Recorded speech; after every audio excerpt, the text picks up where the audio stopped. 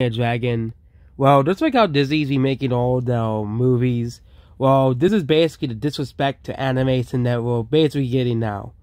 It's not just Disney anymore. It's now DreamWorks movies are getting the live action treatment.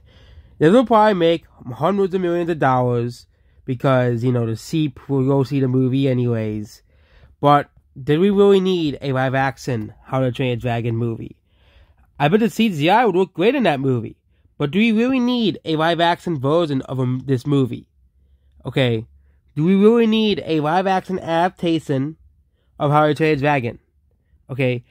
This is why a lot of people believe this is you know oh, and most of this is to appeal towards those people who believe that animation is for kids, those types of people. Oh, you can't enjoy it because it's animated. It's for kids. Oh, that's live action, so it's not for kids. It's so stupid.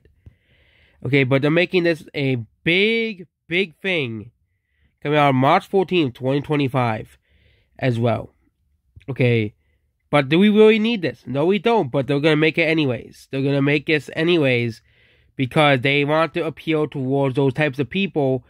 And of course, people are going to see it anyways because that's how, because again, when Lion King remake made $1.6 billion, Aladdin remake made $1.1 billion, okay? But we do not need live action DreamWorks movies as well. Okay, movies like Shrek will not work as a live action movie. They're doing with How to Train Your Dragon because probably the easiest DreamWorks series to make into live action. But we do not need any of DreamWorks' movies to become live action. So I hope this flops and it loses money and they never try this again. Goodbye.